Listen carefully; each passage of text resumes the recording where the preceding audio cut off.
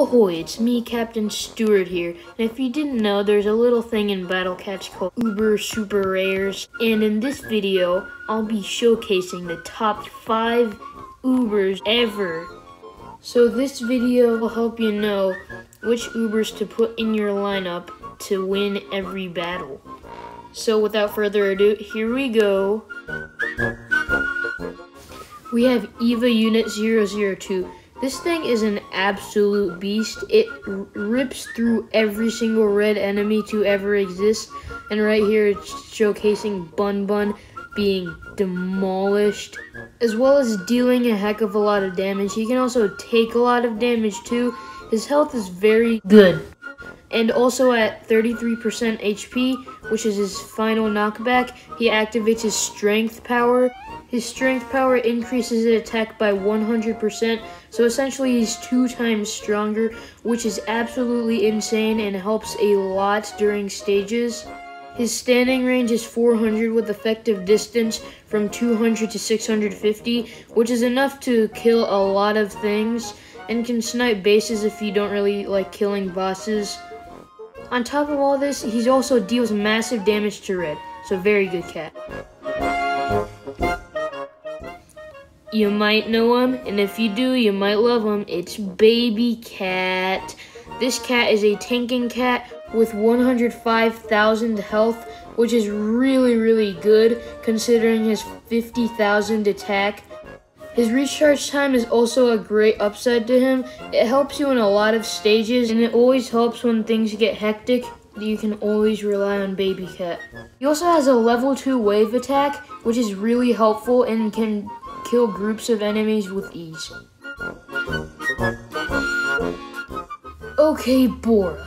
I have a lot to say about this cat. He is probably the best anti-alien cat in the game from what I have seen in my gameplay.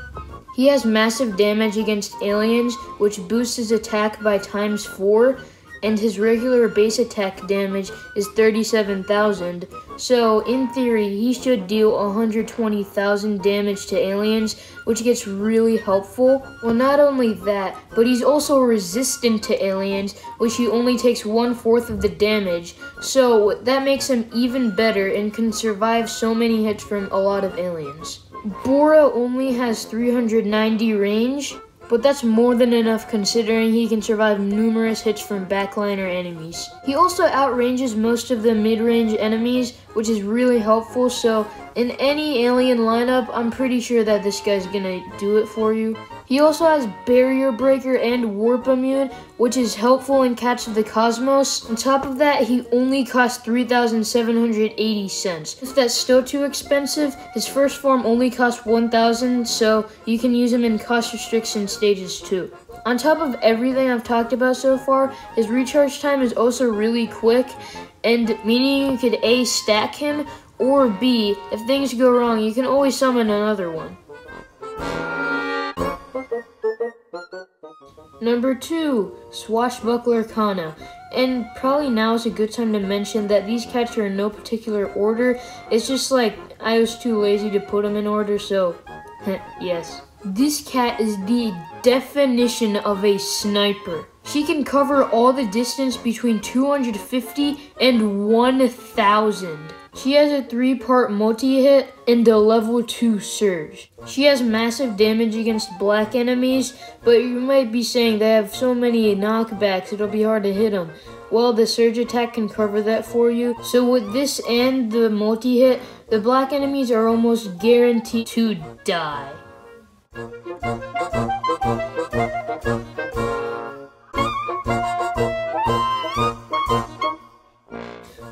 Further ado, here's the number one cat in Battle Cats.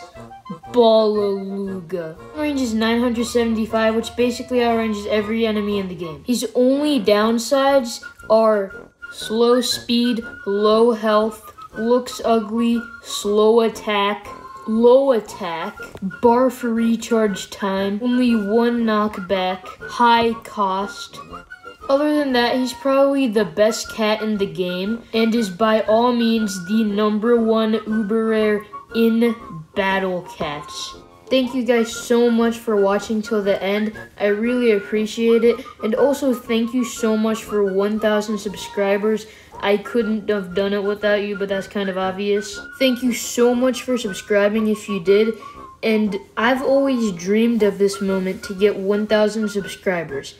This is an absolutely surreal moment for me, and thank you so much. Steward out.